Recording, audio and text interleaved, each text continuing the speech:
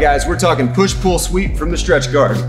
Same thing on the stretch guard, cross collar and a cat grip here, stretching my partner out. A lot of times what the people like to do to get their posture is they bring this right knee kind of close to you and they start to look up towards the ceiling to get posture, almost like they're doing squats and it makes it harder for you to stretch them, right? Especially if you get a big, strong guy. Well, what I like to do when they do that, so go ahead and start to get your posture, I bail on this cat altogether and I take the leg that they've given me, I take my opposite foot, place it underneath the back of the knee, the back of the hamstring, and I push and pull. So the traditional push and pull is to push this way and pull this way, and they end up down, coming up. I like to add one more detail to that.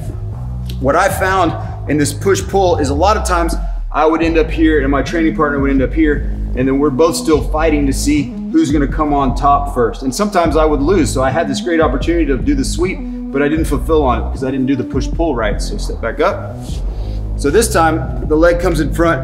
Instead of pushing this way, I'm gonna push up a little bit and I'm gonna stay on her heel. So I push up, I stay on the heel, and I use her momentum to catapult me. I do a little pull on my way up to end up passing the guard and attacking from the side.